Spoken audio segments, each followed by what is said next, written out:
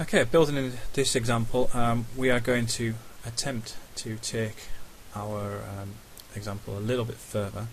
And we're going to try and make it so that we've got two scenes, um, and in each scene, the um,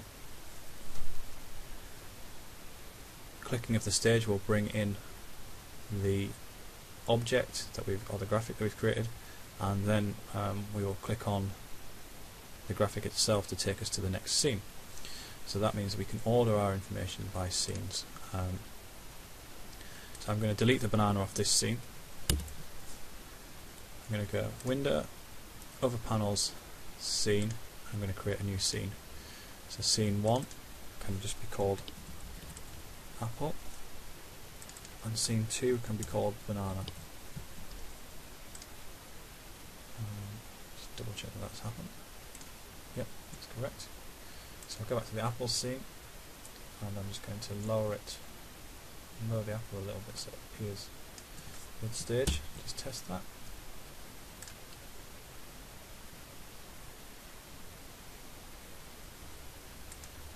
Hmm. Double check.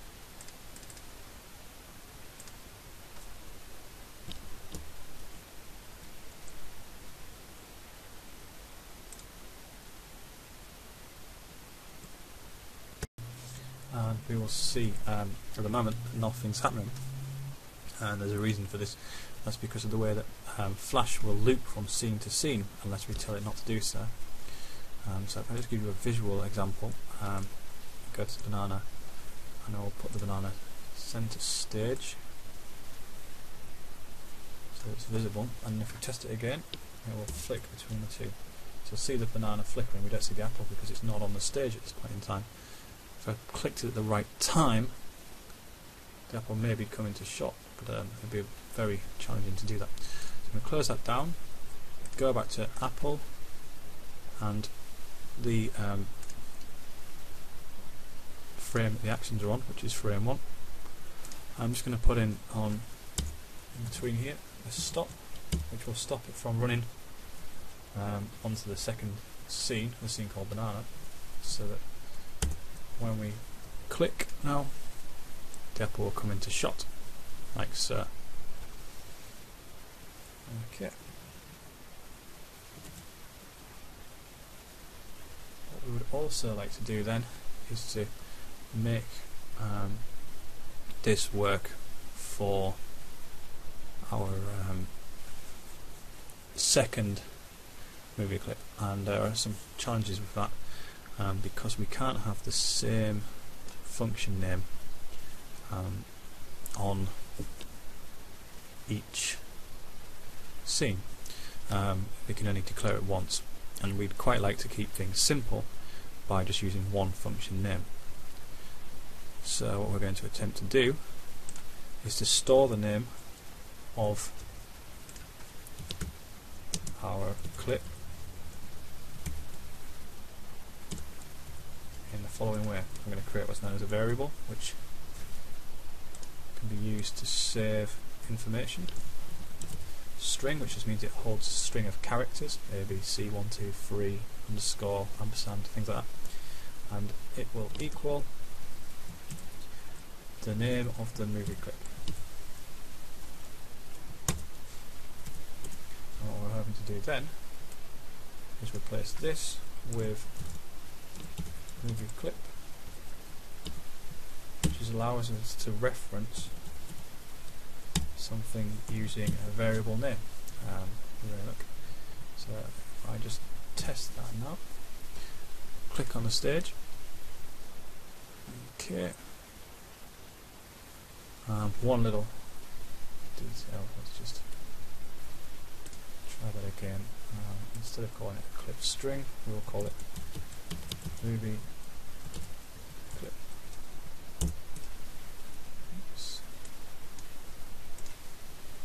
And take a look at what we've done.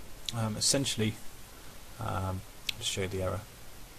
We've got an error um, to do with clip in namespace internal um, conflict. What that means is the name already exists, and it's correct, it does exist, because we've declared it using the keyword variable um, in the first scene. So we no longer need to do that.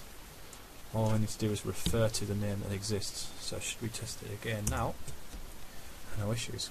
So on the first scene, this is apple scene, click, the apple appears. Then we click on the apple, it takes us to the banana. If we click on the stage, nothing should happen because there's no animation in the banana timeline. But just let's say, for example, close this down, and I'll just hide the actions panel. Go inside the banana timeline, which you get to by double clicking it. So then we're faced with the graphic symbol we created in the first, um, in, well, in the first part of this anyway. Timeline, and what I'm going to do is we'll go to 36. I'm going to insert frame, create a motion tween at the start. I will have it off stage.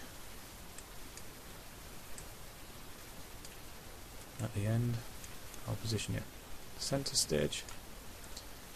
Slightly curl perhaps again, and then I'll put my actions in.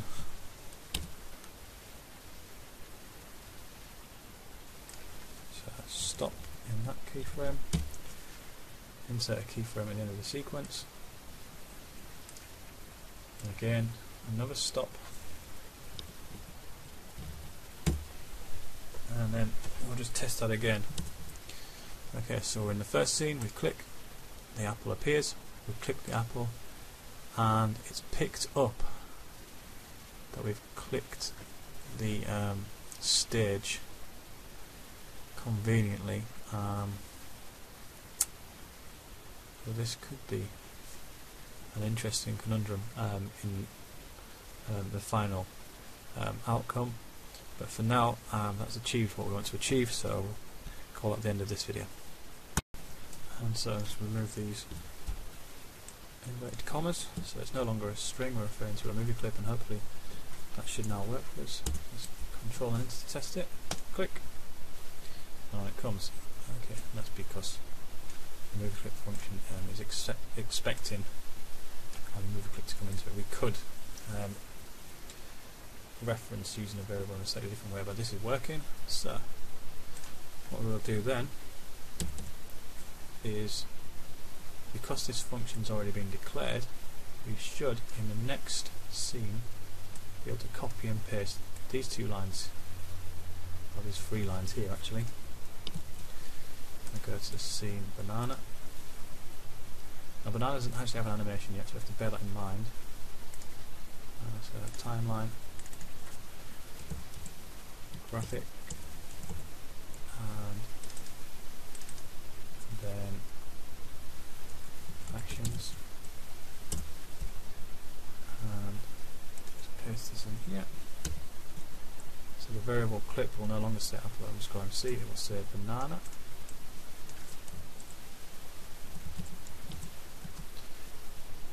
We will then want to copy and paste this onto the instance name for that movie clip. And we will return to oops, get rid of that semicolon. We return to scene 1, or Apple as it is now called, and we're going to add an event listener and function to our movie clip in this. What I want to do is, when it's clicked, send us to the next scene. So again we'll be looking for mouse event click, as we did in the previous event listener. and then we will call um,